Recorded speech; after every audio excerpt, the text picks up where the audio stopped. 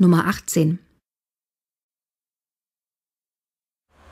Natürlich ist es für die Kunden schön, wenn sie einkaufen können, wann sie möchten, auch sonntags. Aber haben Sie auch einmal an die Angestellten gedacht? Ich glaube nicht, dass sie begeistert sein werden, sonntags zu arbeiten. Auch wenn sie einen anderen Tag in der Woche frei bekommen, ist das nicht dasselbe. Der Sonntag gehört der Familie.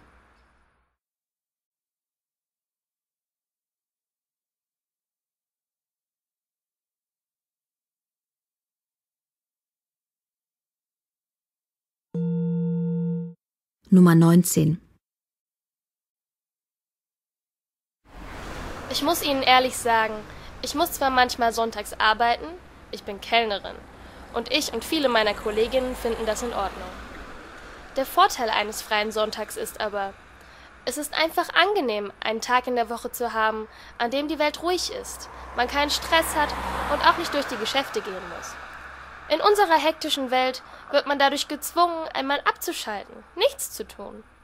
Das finde ich unglaublich wichtig.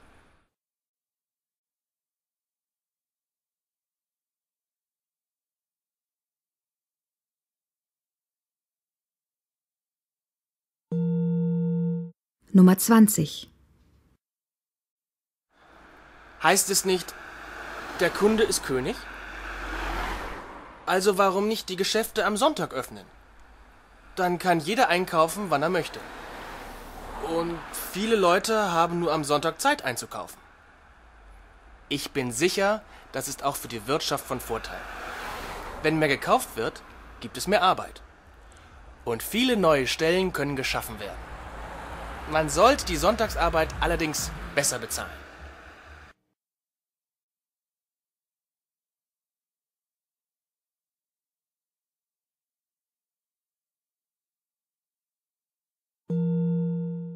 Ende von Teil 4.